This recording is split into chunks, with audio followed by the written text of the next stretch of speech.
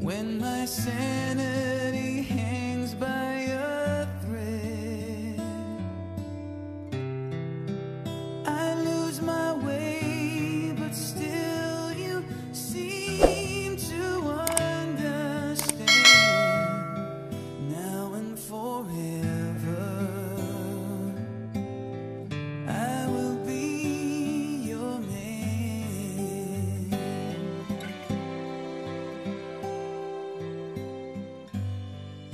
Di po kay John ah Garcia Padre. Pero lang po kami delivery sa kanya. Ah, kuya, kilal eh, sa kanya yung tanong, hindi ko alam yung pangalan. Si Jam po, Jam Jam Garcia Padre po. Ah, Jane.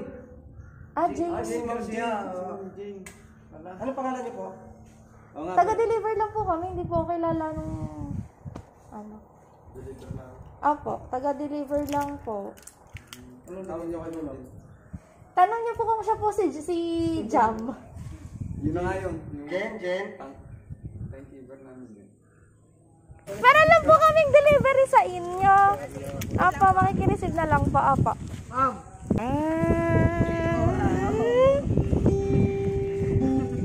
Ayun, alam niyo na po ba kung kanino po galing?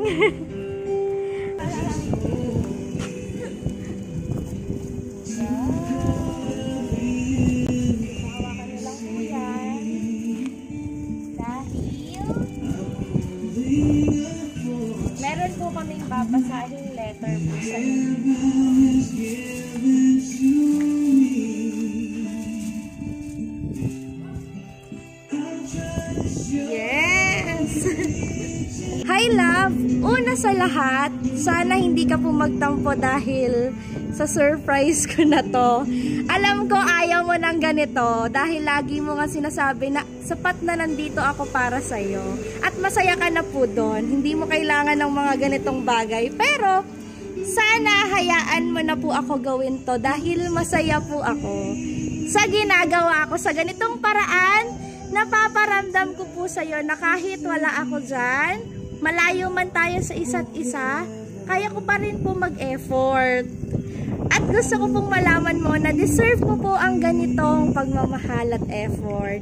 Dahil mabuti ka pong tao. And thank you po sa lahat, lalo na sa love, care, and respect. Hindi ko na po maantay ang first monthsary natin dahil para sa akin, special naman po ang bawat araw na dumadaan sa atin. Hindi man tayo nagkakasama pa in person, pero naniniwala ako na in God's will, ibibigay rin po yon sa atin. Gaya ng lagi ko sinasabi sa iyo na sobrang thankful ako unang-una kay Lord dahil ibinigay ka niya sa buhay ko.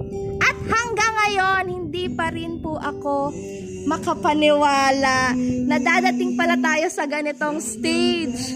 Namamahalin pala natin ang isa't isa. Hindi ko alam kung bakit, kailan at paano nangyari ang lahat. Pero, isa lang po ang sigurado ako sa ngayon. Mahal na mahal po kita ng higit pa sa pagkakaalam mo.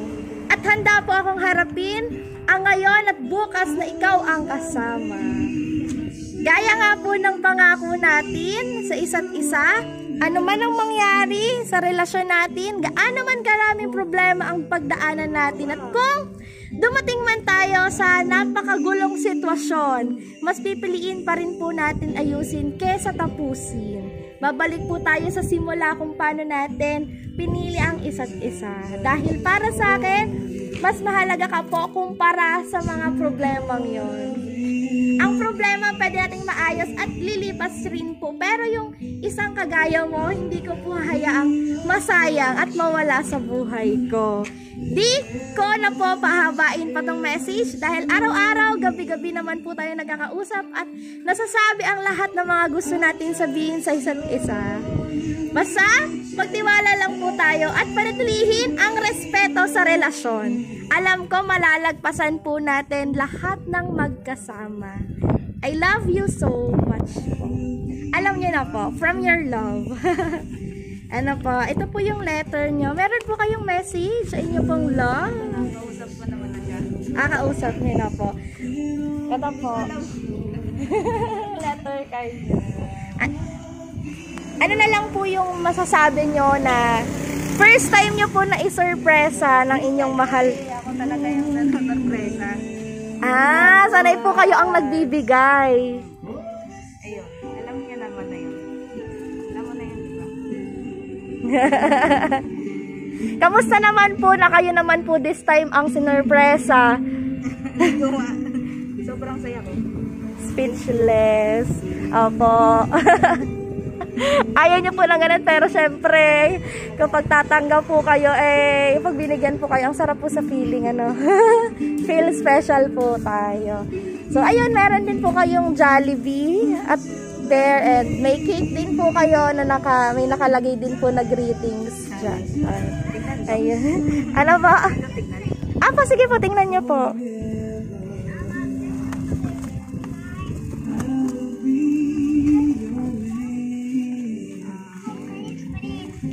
Kayo po ay special. Dami mo talang pakulo eh. Kamusta naman po? Thank you po sa inyo. ayan, ayan po ay syempre, deserve nyo din naman pong pasayahin. Dahil kayo po ang madalas na nagpapasaya. Ano po? sa inyo na lang pong sarili. I-wish po kayo para sa inyong relationship.